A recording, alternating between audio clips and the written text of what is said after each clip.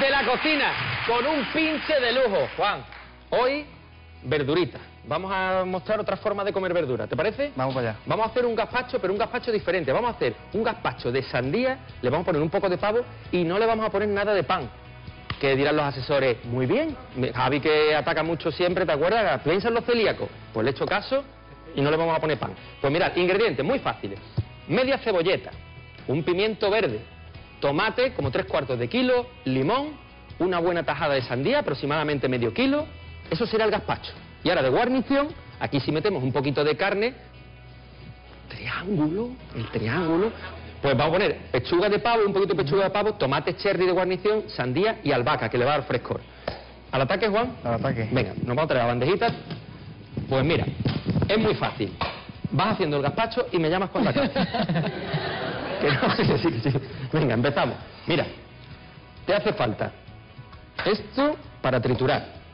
¿Cómo manejas el cuchillo? ¿Te voy ayudando con el cuchillo? No te voy a cortar. Venga, pues mira, cebolleta, la partimos.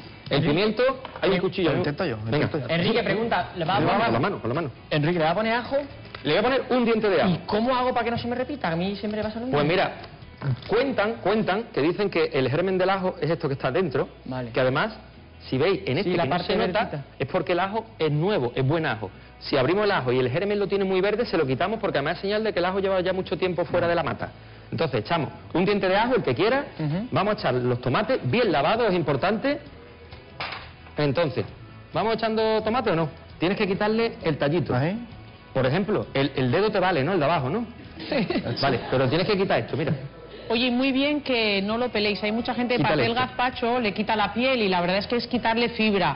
Por favor, si se puede, las cosas que se puedan ¿Me comer con piel con ella.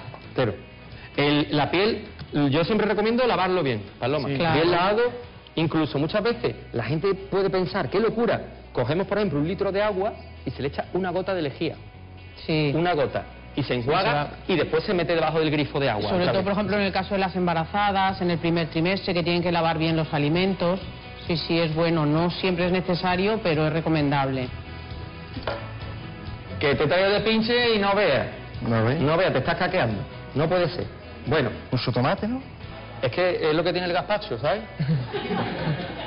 Bueno. Es lo que tiene No, claro, además, si no, tiene, si no tiene pan, tendremos que espesarlo con más Claro, de, de tomate, y claro. para empezar nos va a ayudar sobre todo también la textura de la, de la sandía. Yo mi recomendación, mirar, si tenéis en casa una buena batidora, yo recomiendo, hacemos así, ten cuidado, yo recomiendo no colarlo si tenemos buena batidora. Y aprovechamos Efectivamente. porque todo lo que se queda en el cacito cuando colamos, eso es esencia de, de verdura, es sabor y al fin y al cabo es, es salud. Aceitito sin miedo, sin miedo, sin ¡No! ¿Dónde va? Sí, está bien. Un poquito, está bien, está bien, Juan. Está bien. Y sal. Ahí, esto lo quitamos de aquí.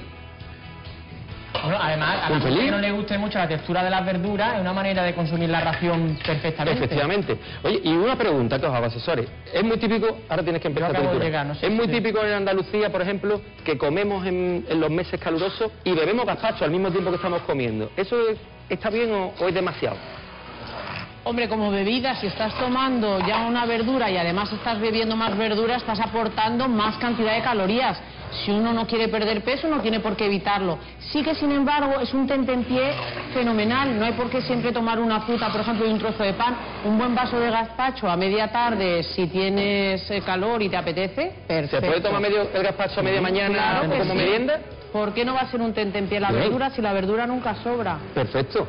Bueno, pues tú imagínate, Juan, que han pasado 10 minutos y tú has seguido batiendo, ¿vale? Entonces, No le dimos fuente para no molestarte, para que no, no, no, claro, yo te lo agradezco. 10 minutos, pues dentro de 10 minutos, ¿qué tendríamos? Tendríamos esto. Bueno, 10 o 20, ¿vale? Tendríamos eso, no, pero lo tendríamos de verdad y tendríamos aquí terminado. Pues mira, si quieres para, no te preocupes, lo dejamos aquí en un ladito. Pues mirad, vamos a poner, por ejemplo, dos tipos de emplatados. Ponemos este aquí, en un platito, vamos a poner un poquito más cantidad, que si no, Aquí está. Y el otro, yo os propongo, porque muchas veces pensamos que la comida cuando estamos comiendo de forma saludable es comida aburrida, lo decíamos al principio, no. Puede ser divertida incluso, oye, tenemos una ocasión especial, pues vamos a, a presentar bien los platos. Pues ponemos gazpacho. Y ahora mirar, de guarnición, muy sencillo. Manos limpias, Ponemos unos dados de pechuga de pavo. Hemos hecho filetito de pechuga de pavo y lo hemos cocido en agua con sal. En Córdoba es muy tipo poner taquito pero de jamón también. igual. Claro. Y sin salmorejo y sin jamón. Ah, bueno, capaz. También está bueno.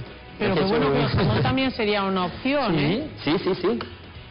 Ponemos un poco de tomate cherry, que le devolvemos ese frescor aquí, y por ejemplo, vamos a poner otro aquí y ponemos uno aquí. Después yo le pongo unos dados de sandía para rematar, y al final, hojita de albahaca. Y este sudado de sandía ahí. Le ponemos una hojita de albahaca en un lado, Bueno, pues yo creo que como primer plato de verdura, ¿verdad, Paloma? Qué maravilla. ¿Cómo lo veis? Y si queréis se puede tomar pan de guarnición, el que no sea celíaco, Por ¿no? supuesto. Podría tomarlo. Y a mí sí me gusta siempre cortar con un poquito de aceite y aceite. Eh. Y resulta que tenemos receta sana, fácil, divertida, con un pinche de lujo como Juan, un gazpacho de sandía con pechuga de pavo. Ahí nada. Buenísimo. Buenísimo.